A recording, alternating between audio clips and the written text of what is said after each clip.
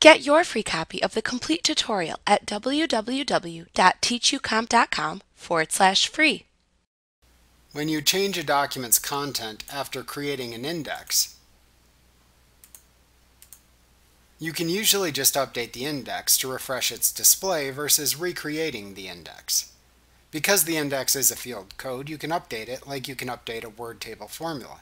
This can save you a lot of work in making changes to your index, especially if working on documents that are often revised. To update an index in Word, place the cursor into the index to update. Then press the F9 key on your keyboard. Alternatively, right-click the index. Then choose the Update Field command from the pop-up menu. As another alternative, click the References tab in the ribbon. Then click the Update Index button in the Index button group. Performing any of these actions automatically updates both the contents and page numbering of your index. Like what you see? Pick up your free copy of the complete tutorial at www.teachucomp.com forward slash free.